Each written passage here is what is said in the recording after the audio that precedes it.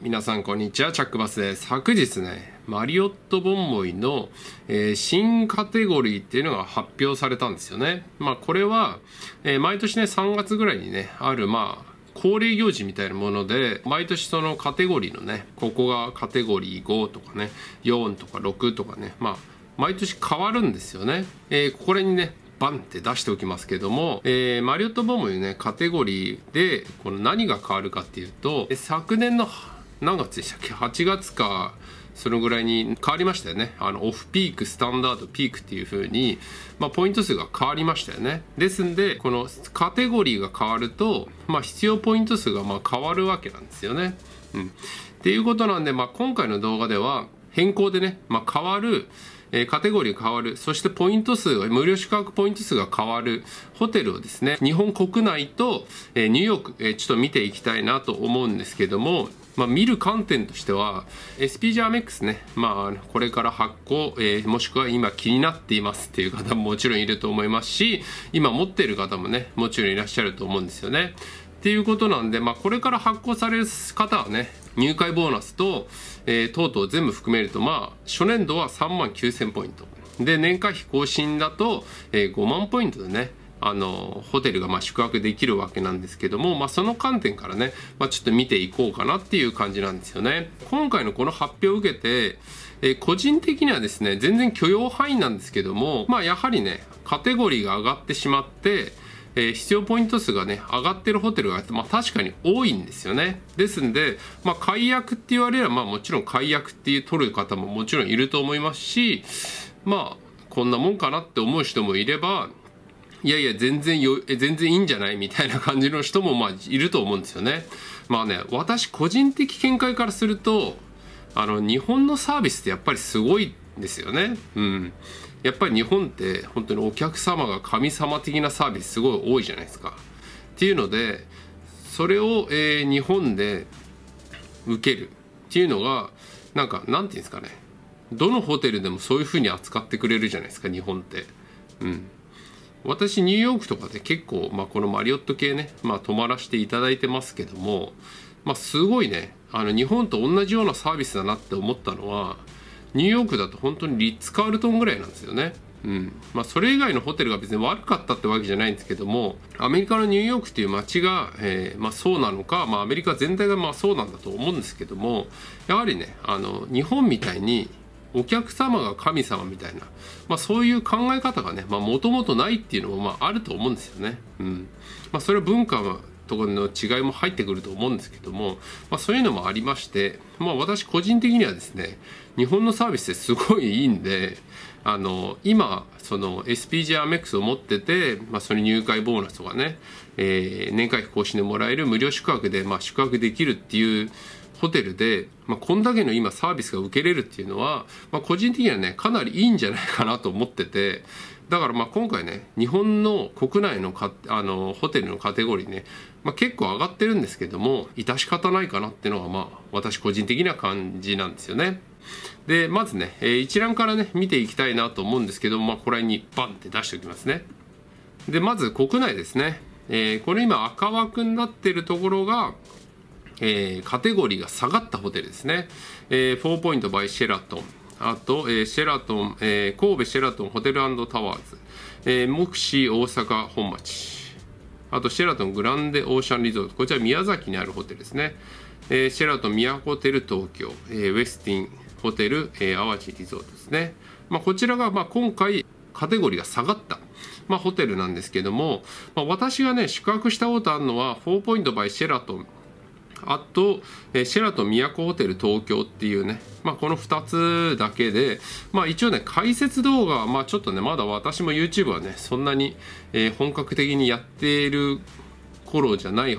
時なんで、まあ、そこまでね、まあ、詳しく紹介できてない部分が多いと思うんですけども一応ねあの YouTube 出してるんですけども、まあ、4ポイント by シェラトンは立地とはねすごいいいんですよ。JR 函館の斜め向かいぐらいにあってで隣に朝市とかがあってね。まあすごいね。立地はいいんですけどもまあホテルはまあ確かにまあ普通 っていうホテルなんですよね。別に悪いとかそんな感じは全然受けなかったのでまあ下がったっていうのはねまあでもすごい料金安いんですよねここ。特に今のこれ2月3月とか行くと本当に1泊5000円とか7000円とかね。まあ本当1万円切るようなね宿泊代で、まあ、宿泊することができるんで、まあ、そういう意味ではね、まあ、あの価格に合わせてきたきただけなのかなと思うんですけども、まあ、これねシーズン的には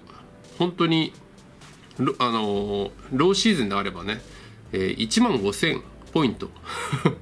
すごいですよね。1万5000ポイントで宿泊できるんですよここ。オフピークだと。おそらくですけどもこのシーズンかなり安くなってる多分このシーズンだと思うんですけども1泊1万5000ポイントで、まあ、宿泊できちゃいますんでもいいですよね。うん。このポイント数もね、えー、5泊すると、まあ、4泊分のポイントでね、まあ、5泊できますみたいなね、サービスがマリオットボンボンにありますんで、まあ、そういう意味ではかなりいいですよね。7万、えー、っと、7万5千ポイントで5泊できたりとかね、まあ、4ポイント by シェラトン函館にまあ5泊するかどうかっていうのはねまた話変わるかもしれないですけども、まあ、そういう感じでねあの4泊分のポイントでま5泊分ね宿泊することもできますからね。でそれ以外で泊まったことあるのはシェラトン都ホテル東京ですね。こちらは6から5ということで、まあ、このホテルはですね正直かなり年季が入ったホテルなんですよね。うん。ですんで、まあ、客室はね、正直当たり外れかなりすごいと思うんですよね。うん、私も奏でた上で、まあ、宿泊したんですけども、設備はすごいいいんですよね。うん。ラウンジとかもすごいね、あの、お酒も食べ物もすごい充実してるんで、もう本当に夕飯とかね、うん。ラウンジで代用できるんじゃないかぐらいね、あのー、充実してるんですけども、ちょっと客室はね、本当に古さがちょっと目立つ感じですよね。うん。他のシェラトンとかに比べると、あ、ちょっとこういう感じなんだって思っちゃうような感じですね。うん。私もね、アップグレードしていただいたんですけども、まあ、そうかっていう感じの、うん、ちょっと6から5にカテゴリー落ちたっていうのはまあ納得できるかなっていう感じですね。正直ね、それ以外のホテルのあのカテゴリーが落ちたホテルはね、ちょっとね、私も宿泊したことないんで、まあ、あの、一概には言えないかなっていう感じなんですよね。でまあ、次にねあのカテゴリーが上がったホテルで、まあ、宿泊したことあるのが軽井沢マリオットホテルですね。こちら今3万5000ポイント。3万から4万か。えーえー、軽井沢マリオットホテルですね、まあ、今回5から6に上がるということで、えー、4万ポイントから6万ポイントということですんで、まあ、SPG アメックスをね入って、まあ、ボーナスポイントと全部入れて、まあ、3万9000ポイントね、まあ、獲得できるわけなんですけども、まあ、それでね、まあ、残念ながらこのホテルはね、まあ、3月3日までは、えー、3万 ,3 万5千ポイントで宿泊できたんですけども、まあ、残念ながらね6に上がってしまうということで、まあ、4万ポイント以降になってしまいますんで、まあ、ここはね、えー、宿泊できなくなるっていう感じですね。でそれ以外のホテルだと今回ね上がるホテルだとウェスティンホテル東京ですね。こちらは5万ポイントから7万ポイントということで、まあ、こちらもね SP ジャーメックスのね、入会ボーナスで、えー、宿泊、もともとできないんですけども、えー、前のカテゴリーだとね、4万ポイントからま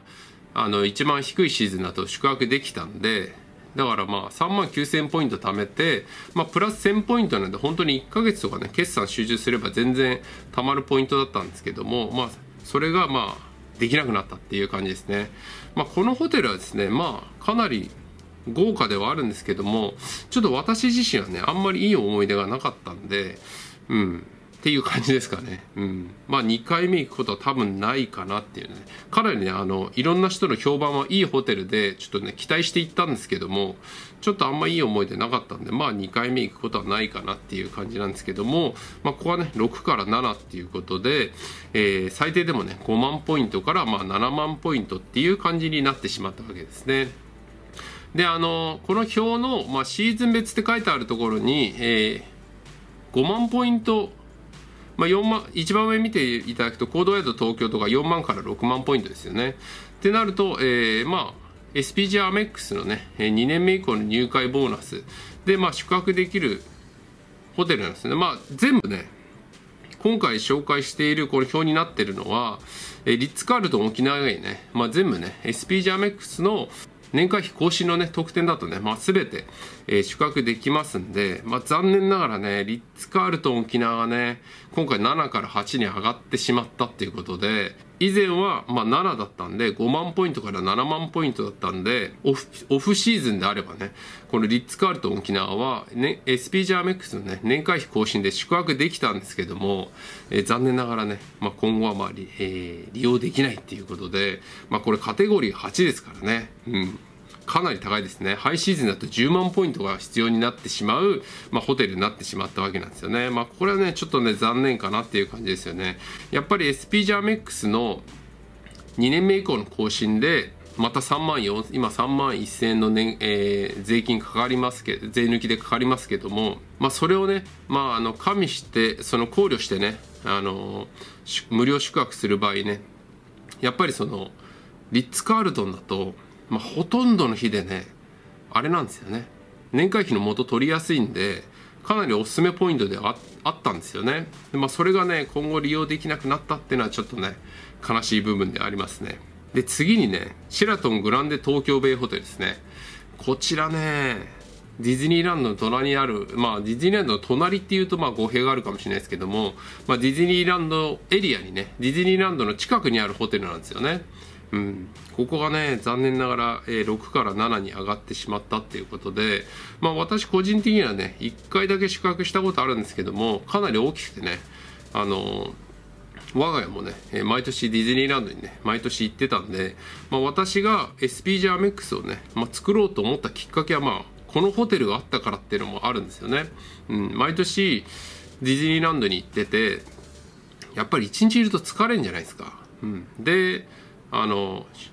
もし宿泊できるんだったらね宿泊で帰りたいと思って SP ジャーメックスを作ったんですけども残念ながらね、まあ、今回6から7に上がってしまったっていうことでね。まあでもね SP ジャーメックスの年会費更新はね、まあ、利用できますんでまだ利用できることはできるんですけどもまあでも必要ポイント数が上がってしまったってちょっと残念ポイントではあるかなと思うんですけどもまあディズニーランドエリアですからね。私これでもね安いと思います正直。私がその1回宿泊した時は、えー、クリスマスシーズンの12月23とか4とかにね、まあ、宿泊したんですけども1泊6万8000円とかでしたからね。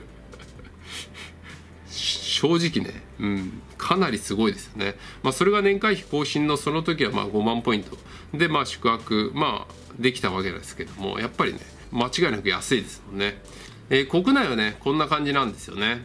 えー、それではね、次に、えー、ちょっとね、そこまで重要あるかわかんないですけども、ちょっとニューヨークのホテルもね、ちょっと見ていきたいなと思うんですよね。ちょっと私もニューヨークのね、マリオットホテルね、かなり泊まってきてますんで、えー、こ、こちらもね、これにザンって出しておきますけども、今回、コードヤードの、えー、カテゴリーのホテルが、まあ、全部ね、今までカテゴリーが5だったんですけども、まあ、全部6になったっていう感じですね。で、あとね、フォ,、えー、フェアフィールドっていう、まあ、コートヤードとフェアフィールドって本当に隣り合ってるようなね、場所にもあるようなね、まあ、ニューヨークのホテルなんですけど、まあ、こちらも5から6に上がったっていう感じですね。あと、エレメント、えー、タイムズスクエアのホテルですね。まあ、こちらね、タイムズスクエアエリアであるにもかかわらず、まあ、カテゴリー5だったんで、こちら上がる、上がるっていうかね、まあ、料金も結構しますんで、なんでカテゴリー5なんだろうなと思ってたんですけども、やっぱり今回ね、あの、上がってしまいましたね。やっぱりタイムズスクエアっていうエリアは、あの、ニューヨーク観光においてね、やっぱり需要がね、やっぱ高いですよね。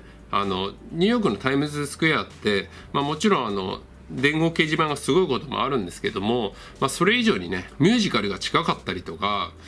あのしますんでニューヨークのね観光で、まあ、ミュージカルねメインで来られる方はやっぱりタイムズスクエア選びますよね、うん、歩いて行きたいですしやっぱり帰りとかもね、まあ、気にすると、まあ、タイムズスクエアエリアがね、まあ、好まれる方も多いと思いますしね。それでは次に、えー、それ以外のホテルですね。えー、ルメリアンセントラルパークですね。えー、ルメディアンっていうやつですね。まあ、こちらも、え、6から7ということで、こちらね、セントラルパークにかなり近くて、エリア的にもですね、かなりいい場所にあって、でホテルなんですよねちょっとね宿泊はしたことなくて今後してみたいなと思ってた矢先の、えー、カテゴリーアップですねうんちょっと残念ですねで次に、えー、バケーションクラブパルスですねこちらはですね、えー、マリオットバケーションクラブっていうマリオットのねタイムシェアを、えー、購入するとねニューヨークエリアで、まあ、こちらが対象のホテルなんですけどもまだね動画出してないんですけどもこちらね、えー、昨年の12月に宿泊してきたんですけどもここのカテゴリーアップはね正直全然わかんないですね。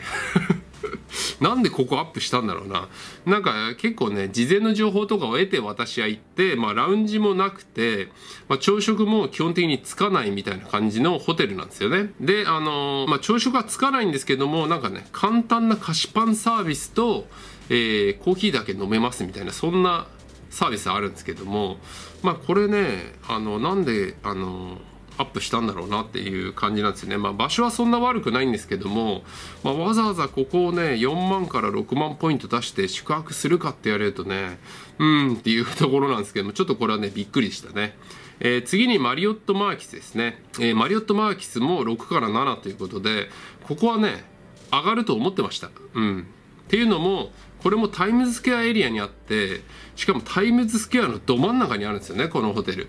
まあ、私もね宿泊解説出させていただきますけども、まあ、ちょっとねあのホテルの作りが微妙 微妙とか言っちゃいけないのかもしれないですけどおしゃれなんですよね真ん中にエレベータータワーがこういう風にあって周りに客室があるんで、まあ、ちょっとね非常にあのエレベーター降りてから客室まですんごい歩くんですよね。うん、まあすんごいとか言っちゃいけないのかもしれないですけども、まあ個人的にはね、これ結構大変だなと思いながらねあの宿泊したんですよね。でも、えー、タイムズスクエアエリアにあってしかもねタイムズスクエアビューっていうねタイムズスクエアが本当に目の前で見える客室、まあ、私も宿泊させていただいたんですけども、まあ、そういうねあの他の特典もあるんでここ上がんなんでこのポイント数なんだろうなと思ってたんでやっぱりここ上がったっていう感じですね。ちょっとね、えー、次、えー、ルネッサンホテル57とルネッサン、えー、タイムスクエア。ちょっとこちらね、宿泊したことがないんで、ちょっと何とも言えないところなんですけども、まあ片方はね、タイムスクエアエリアにあるんで、まあカテゴリーアップかなと思うんですけども、う一つはね、うん、なんで上がったんでしょうかねっていう感じですね。うん。あと、えー、次にね、レジデンスインミッドタウンイースト。まあこのレジデンスインっていうのは、長期滞在型みたいな感じで、なんか結構あの、あれなんですよね。キッチンとかついてるようなね、まあ、ホテルなんですけども、まあ、ここも、えー、カテゴリー1個アップっていう感じですね。ここはね、ちょっといずれ泊まってみたいなと思ってたんですよね。まあ、キッチンがついてるっていうので、まあ、どんな感じなのかなっていうのもね、ちょっと見たかったんで、そのキッチンとかね、ついてるんですけども、あの、朝食会場は別にあったりとかね、うん、するんで、ちょっとね、泊まってみたいなと思ってたんで、ちょっと残念ですね。で次、えー、シェラトントライベッカホテルですね。こちらもねまだ解説動画出させていただいてはいないんですけども昨年ね12月に宿泊してきたんですけどもここね残念なんですよね。一番上がってほしくなかったんですよね。このホテル何が良かったかっていうとニューヨークのシェラトンのまあ私が動画アップしてるねシェラトンのニューヨークのホテルはシェラトンタイムズスクエアっていうホテルがあってまあブルックリンにもう一個あるんですけどそこはね私まだ宿泊してないんですけどもシェラトンタイムズスクエアはシェラトン系のホテルはですねラウンジが24時間やってるんですよ。うん。24時間ってすごいじゃないですか。ですんで、まあ、24時間ね、まあ、お酒は飲めないんですけどもソフトドリンクとかお水とかねそういうものコーヒーとかもそうなんですけどもそういうのがねいつでも利用できるっていうのはやっぱりかなり強いんですよね。うん。まあニューヨークは何でも物価高いんでそういう意味ではねすごい良かったんですよね。でシェラトントライベッカホテルも24時間ラウンジがやってて。でここはねカクテルタイムがあるんですよニューヨークでは珍しく。まあ、私今まで結構泊まってきたんですけどもシェラトンあのニューヨークの、えー、ラウンジでカクテルタイムがあるの私見た限りここだけなんですよね、まあ、あの無料だとね、うん、有料だとまあそれはね、まあ、有料なんでねどこでも飲めるんですけどもここは無料で飲めたわけなんですよね。さらに、えー、ラウンジがねかなり見晴らしが良くて最上階だったかな。最上階か最上階の1個手前ぐらいにあってエンパイアステートビルとかね見えるんですよね。うん、でさらに、えー、デスティネーションフィーっていうねまあ、これね宿泊に際して、まあ、必ずかかる、まあ、リゾート料金みたいなもんなんですけどもそれもかからないホテルだったんですよねこのシェラトントライベカですんでねちょっともう今後のニューヨークはいつもここでいいんじゃないかと思ってたぐらいね良かったんですけどもけん、えー、今回ね、えー、4カテゴリー1個アップしてしまったんでねまあ上がるかなと思ってたんですけどやっぱり上がってしまった感じですね。えー、次に、えー、スクリーン、えー、スプリングヒル、え、タイムズスクエアサウス、フィフスアベニュー、パークアベニューですね。ちょっとね、スプリングヒルっていうね、ブランドのホテル、私ね、宿泊したことないんでね、ここはちょっと何とも言い難いですね。タイムズスクエアサウスっていうタイムズスクエアエリアにね、あるホテルがちょっとね、上がるのはちょっとわかるんですけども、まあ、それ以外まで上がってますんで、まあ、全体的なカテゴリーアップっていう感じだったんですかね。え次にマックスウェルホテル、まあ、こちらも、えー、一、えー、ワンランクねアップしていますけどもこれはね場所はかなりいいんですよね、うん、ですけどもちょっとホテルのサービスじゃねあの私もちょっと利用したことないんで何とも言い難いところですね。えー、次にウェスティンタイムズスクエアですね、えー、あとタウンプレイスのタイムズスクエア。やはり今回タイムズスクエアをね、あのー、エリアにあるホテルはまあ全体的に上がってきてるんですよね、うん、やっぱり需要があるのは分かってるんでしょうね。うん。なんか、その、私も結構価格を見てね、ニューヨークのホテル宿泊してるんですけども、まあ、タイムズスケアのあのエリアのホテルって、ちょっと他の、なんですか、ちょっと下の方とか、真ん中の方とかね、あの、ニューヨークの場所のそこら辺のホテルがね、ちょっと価格すごい安いなっていう時期でもやっぱりタイムズスクエアエリアってちょっと上が高いんですよねそんなに安くないんでまあちょっ個人的にはね上がるかなと思ってたところがまあ上がってしまったっていう感じですよね。ですんでまあほとんどがね4万ポイント。ニューヨークに関してはもう4万ポイント以上が全部、えー、4ポイントのダウンタウン以外全部、えー、4万ポイント以上なんで SP ジャーメックス発行して入会ボーナスで泊まれるっていうホテルはねまあ、ちょっとないっていう感じですね。だからまあ1ヶ月でも決算を集中させて、1000ポイント稼いでまあやっと泊まれるかなっていう感じなんですよね。まあでも、結論としてはですね、JW マリオットホテルっていうね、えー、ホテル、まあ私の解説動画でね、まあ出していただいてるんですけども、そこのホテルが今回ね、カテゴリーアップを食らわなかったっていうのはね、まあ良かったかなっていう感じなんですね。今現時点でまあ7、カテゴリー7で、まあ、あのローシーズンでも5万ポイント、まあ、かかるホテルなんですけども、まあ、サービスはねかなりいいんですよね、うん、でラウンジもありますしまあ、ディスネーションフィーはかかってしまうんですけども個人的にはねかなり満足度の高いレベルでやっぱり5万ポイントで宿泊できると、まあ、SPG アメックスのね年会費更新で、まあ、宿泊できるってやっぱり大きいじゃないですか今現時点でね、あのニューヨークのハイブランドホテルで SP ジャーメックスのね、えー、年会費更新で宿泊できるのが、えー、JW マリオットと、えー、W ホテルだったかな？ぐらいしかないんですよね。うん。ですんで、えー、そうなってくるとね、この JW マリオットが塞がれると、まあちょっとね、個人的にはね、SP ジャーメックスどうしようかなって思うぐらいまであるんで、まあ、個人的にはまあそこがアップしなかったのはまあ良かったかなと思うんですよね。ちょっとね、リッツ・カールトンと同じぐらいのね、ポイント数、だからもうい、えー、ワンランクね、カテゴリーアップするかなと思ってたんですけども、そこが回避できた、あの、回避されたっていうのはね、まあ嬉しい感じなんですよね。えー、いかがだったでしょうか、えー、今回はね、えー、マリオットボンボイホテルの、え新カテゴリー発表についてね、まあ、解説させていただいたわけですけども、まあ、個人的にはですね、私のメインで考えてるのが結構ニューヨークなんで、あの、これをね、国内でメインで考えてる人は、人それぞれ、あの、思う部分変わると思うんですよね。うん。まあ、今まではあの SPG アメックスのね入会ボーナスで泊まれたホテルが、まあ、実際にね泊まれなくなってるっていうわけもありますし、まあ、増えてはいるいますけども、まあ、減ってるのも事実なんで、まあ、そこはちょっとね、まあ、緻密な計算がまあ必要かなっていう感じですよね。まあ、SPG アメックスも、えー、年会費がね3万1000っていう結構高額なね、年会費なんで、まあ、それのね、元を取れなかったら、まあ、何のために SPG アメックス持ってるのかちょっと分かんなくなっちゃいますんで、まあ、今ね、あの SPG アメックスを、えー、発行、えー、検討されている方はね、マリオットボンボイのね、あのサイトで、まあ、いくらぐらいするホテルに、まあ、予定がしてて、まあ、それを、まあ、無料宿泊したいっていうのはね、まあ、ある程度見据えて発行される方がまあいいかもしれないですね。まあ、そういうふうにね、まあ、考えていただけたらいただいて、まあ、それでも得だなって思った場合には、まあ、利用していただければなと思います。まあ、もちろんねこれ3月4日にこれポイント数変わるんですけどもあの3月4日までに予約すればですね前回何ですか今のポイント数で予約できますんでこの今日あの動画で解説して解説したポイント数にはなりませんのでもしねあの今ある程度ポイントを持っていて予約したいっていう方はねあの3月4日までに予約していただければあの今のねカテゴリー今のポイント数で宿泊することができますんでね。であの3月4日以降予約してしまうと、えー、今回動画で解説したねポイント数になってしまいますんで、まあ、そこはね、まあ、皆さんあのもしあのポイント持ってる方はね、まあ、早めな決断、まあ、まだ1ヶ月近くあるんでまあ大丈夫だと思いますけども、まあ、ちょっとねあの予定を検討していただけたらなと